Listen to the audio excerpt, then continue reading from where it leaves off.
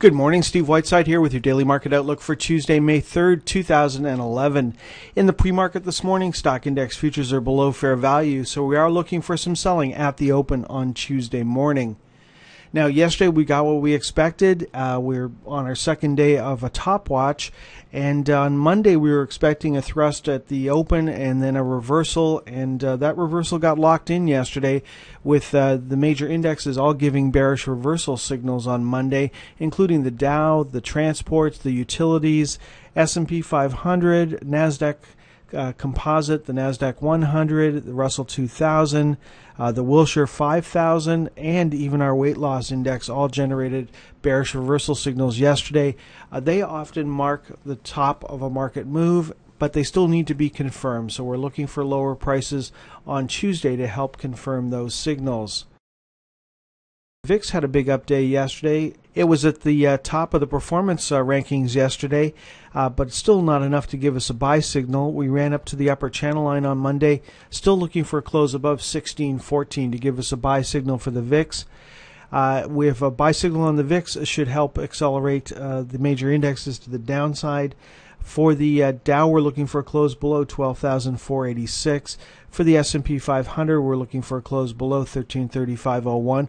For all of these major indexes, including the Nasdaq 100 and the Russell 2000, uh, we're not expecting to see uh, official sell signals on Tuesday, even though we do expect to see downward pressure.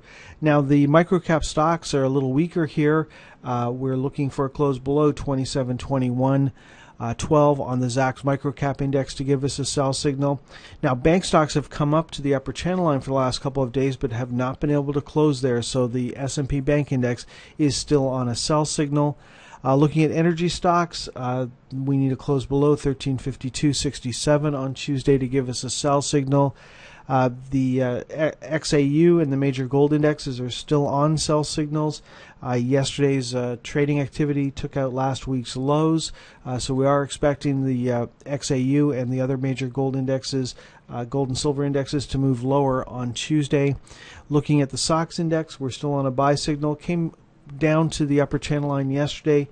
we need to close below 439.05. For the uh, transports, we're looking for a close below 53.31.44. Uh, for the 30 year bonds, no changes on Monday, no change for the euro, and no change for the US dollar. Next up, let's take a look at commodities, starting with uh, copper. We're still on a sell signal, still on a buy signal for gold. Gold's down about $15 in the pre-market this morning, so uh, we're looking for a close below 146.40 on the GLD to give us a sell signal. New sell signal for the silver ETF. We need a close above 45.30 to give us a buy signal on Tuesday. Uh, no change for crude oil, no change for gasoline, and no change for natural gas. Taking a look at uh, 60 minute charts for Tuesday's trading activity, starting with the uh, 60 minute panic zone chart. Had a couple of early warning signals go off yesterday. Uh, and we reversed lower, of course. We're now back on an hourly sell signal. An hourly close above 1365.06 on Tuesday would turn us bullish. Uh, next target to the downside is 1343.75 on the 60 minute charts. If we can hold the 1340 level, then we ex- assume that the bulls are still in control. If we start breaking down below 1340, we assume that the bears are in control and we'd be expecting much lower prices. Take a look at the VIX. We're still looking for the VIX to break out above 16. If we start breaking out above 16, we expect stock prices to accelerate to the downside.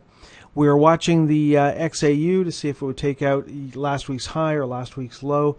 Yesterday we took out last week's low, expecting lower prices. And for the S&P Bank Index, we watched it uh, move up last week to the 60-minute uh, flypaper channel, but uh, has so far been unable to break out above the channel. We're still expecting lower prices for U.S. bank stocks. Okay, that's all for Tuesday morning, folks. Have a great day. We'll talk to you again on Wednesday morning.